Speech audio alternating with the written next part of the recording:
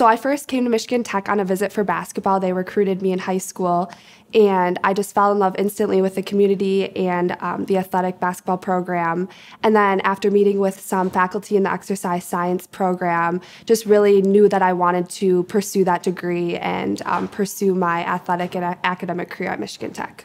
They just really give you good insight as what you're going to expect in the future and that was really awesome for me. I felt totally prepared going into my interview and like i knew what to expect when i was working um, getting my direct patient care hours for pa school.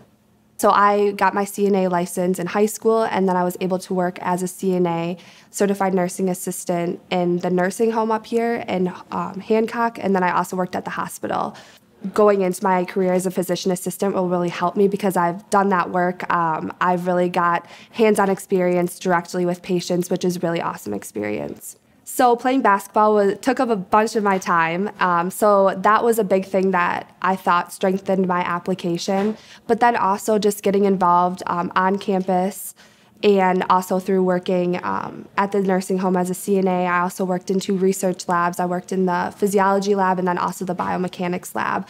Um, so just getting my um, kind of hands in a bunch of different places, I think that really helped strengthen my application and make me a competitive applicant. So I also worked as a peer health advocate on campus. That was through Michigan Tech Wellness.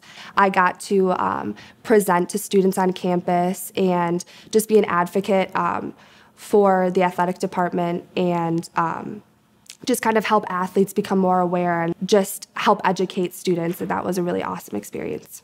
I was a research assistant in the kinesiology lab or integrative physiology lab on campus. And that was really awesome because I think it was a really cool experience that as a sophomore I was able to, you know, go and work in a lab. And right away I did um, an undergraduate research internship, and that was my sophomore year. So um, we also, I also worked in the sleep lab, and that came my junior year. So that was really cool that I was able to immerse myself and get that opportunity as an undergraduate. And then I also worked in the biomechanics lab working um, on validating a motion capture system. So that was really awesome. I did an independent study last summer doing that. So it's just really cool that Michigan Tech gives you the opportunity to really dive into research and get um, experience in what you're interested in. Get involved, but make sure you get involved in something that you really care about. I think my Michigan Tech experience was second to none. Honestly, from basketball to academics, I couldn't have asked for a better experience being able to say that I got into my dream school, my, that's awesome. And that's everything I could have expected and more from Michigan Tech.